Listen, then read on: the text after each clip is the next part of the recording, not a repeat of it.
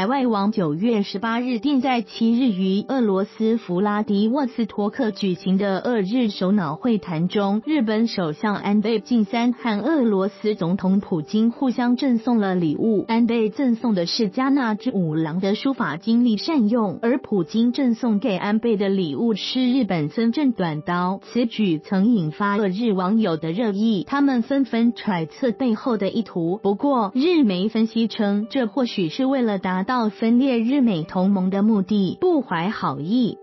据日本产经新闻报道，在九月七日举行的俄日首脑会谈上，日本首相安倍晋三和俄罗斯总统普京互赠了礼物。安倍赠送给普京的礼物是日本柔道之父加纳之五郎的书法，且该书法是加纳之五郎的一作。日媒表示，身为柔道爱好者的普京在收到礼物时称太棒了，这是绝佳的礼物，表达了感谢之意。加纳之五郎的书。法还曾经被赠给过在洛杉矶奥运会中获得柔道金牌的柔道盖世之王山下泰裕。普京很开心，在预料之中。此时安倍先得一分，不过接下来就让人困惑了。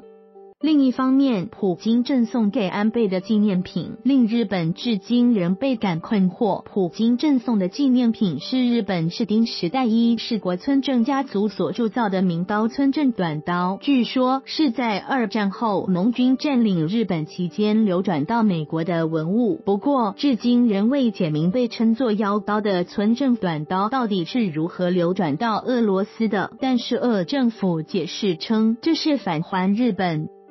日本外务省干部面露苦笑地说：“普京让我们拿回了曾被美国攫取的东西，但如果俄罗斯不归还其所掠取的北方领土，而只是还一把刀，日本是无论如何也不能收下啊。”日媒分析，围绕着北方领土问题，俄罗斯至今仍不断敲打着日美同盟。普京或想说，从二战中战败的日本窃取珍贵物品的不只有俄罗斯，还有美国。俄罗斯意在分裂日美同盟。